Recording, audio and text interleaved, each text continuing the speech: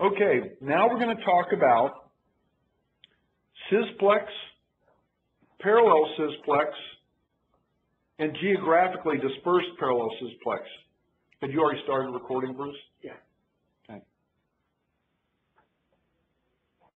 Okay, describe the difference between sysplex, parallel sysplex, and GDPS.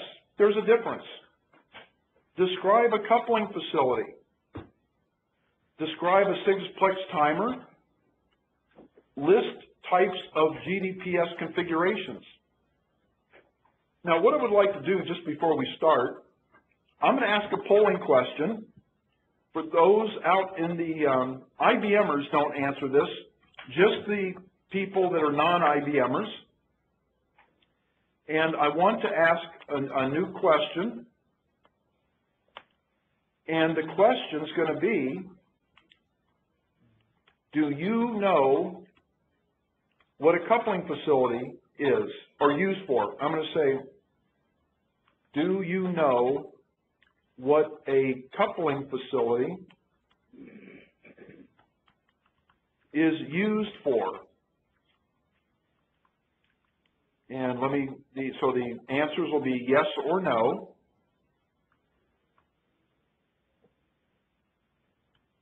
And let me go ahead and conduct this.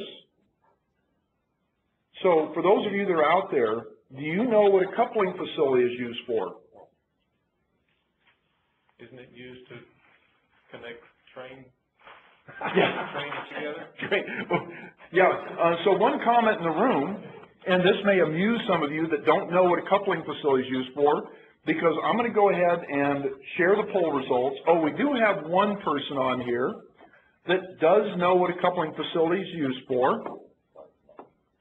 But one person that was in the room, um, I think I just, do you actually see the poll results yourself? I, okay. One person in the room said, a coupling facility, isn't that used for, um, uh, how'd you word it, train? To join train cars. And, uh, in, in a way, there, there's a little bit of, uh, interesting analogy to that. So those of you that don't know, you're going to understand something that IBM does that no one else has done to date. I don't know if they will be able, anybody else will be able to. Okay, let me go on to the presentation here. So when we're done, you'll be able to describe it. So System Z, the IBM mainframe, has clustering, uh, has clustering technology. And I want to get into a little bit of clustering terminology. So the word sysplex, you can think of it as a collection of ZOS systems that cooperate. They can use certain hardware and software products to process work. It is a clustering technology. Now, what parallel sysplex is, parallel sysplex is a sysplex that uses multi-system data sharing technology. It allows direct, concurrent, read-write access to shared data from all processing nodes. You can have as many as 32 servers, which is 32 individual ZOSs, can concurrently cache shared data like it's available to all the local ZOSs concurrently. So work requests that are associated with a single workload, such as business transaction, database queries, can be dynamically distributed for parallel execution on the nodes in the sysplex cluster based on available processor capacity. In many ways, a parallel sysplex system appears to be one single large system, but it could be up to 32 ZOSs participating like it's one giant ZOS, and they can be on separate processors, even they can potentially be physically separated, and we'll talk about that. So how do they do that? oh, before we talk about how we do it, there's a huge number of benefits to doing this. Of course, the scalability is like none other. Um, for high availability, it's the best because if one system goes down, the other system can dynamically take over because it knows where the other system left off. It knows about the data, knows about everything else. So you can take one system down, the other systems just move on. Work doesn't hiccup. So it's for super high availability. You can use it for session balancing, transaction routing, and of course it's highly scalable.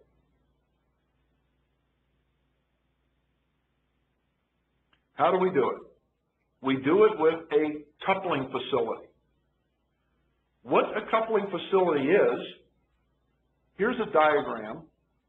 Think of the coupling facility as shared memory, shared frames specifically. So it's frames that are known by all the participating ZOSs. Now each one of the ZOS has its own frames, memory, but it also connects to shared frames.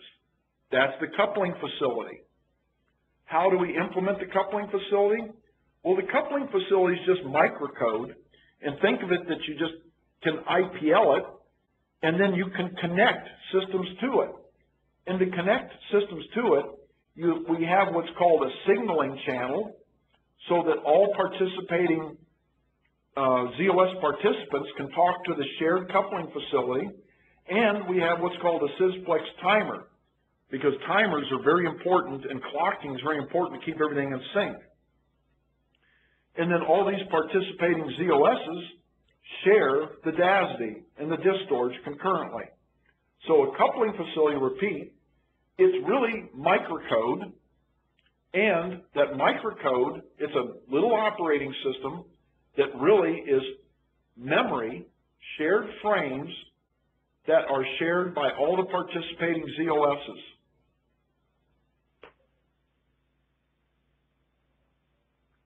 Here's another example of it, a coupling facility, and then we have the coupling facility channels, known as the signaling channels. And that's actually showing how we're talking to control units down here.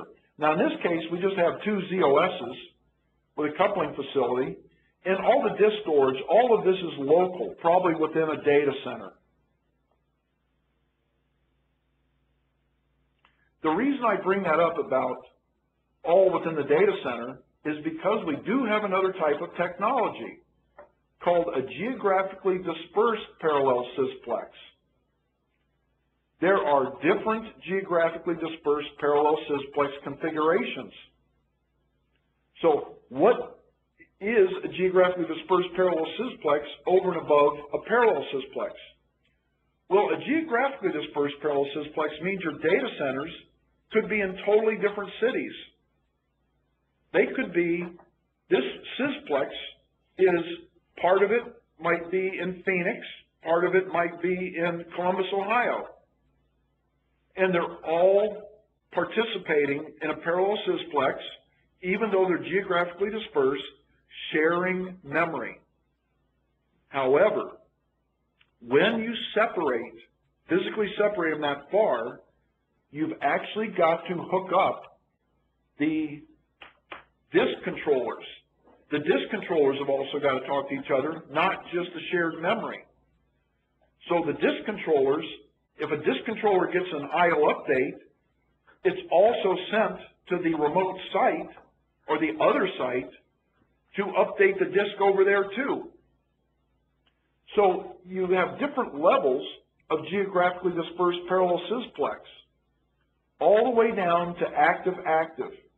Now, there are some very large enterprises, they have three and four data centers in different parts of the country or different parts of the world.